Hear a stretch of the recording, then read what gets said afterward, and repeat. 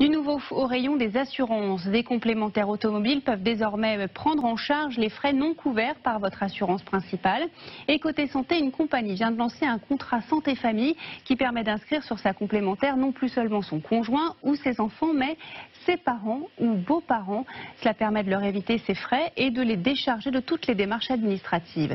Laetitia Simoes, Gaël Courcel et Hélène Kelly. En début d'année, alors qu'elle circule sur le périphérique parisien, Marie-Paul Manucci a un accident. J'ai roulé dans d'énormes trous.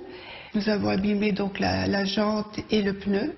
Un sinistre sans conséquence pour elle, mais pas pour sa voiture. Pneus éclatés, jante abîmée, le véhicule est hors service. Il doit être remorqué et la facture est salée. On avait une facture de 1282 euros.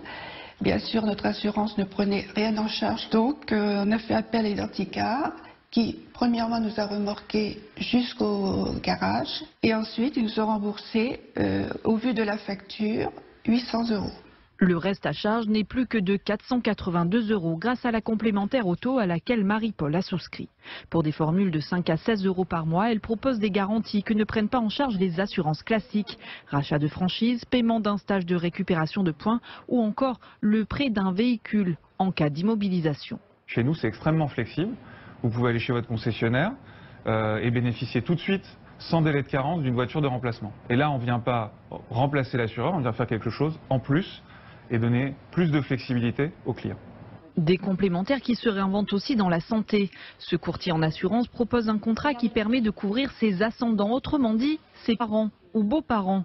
Un coup de pouce pour le pouvoir d'achat des seniors qui renoncent souvent aux soins de santé. La réalité, c'est qu'il euh, y a des enfants qui ont un pouvoir d'achat plus important et ils ont juste envie euh, de venir en fait compléter euh, ces revenus à leurs parents parce qu'une complémentaire santé, par nature, ça coûte un peu d'argent.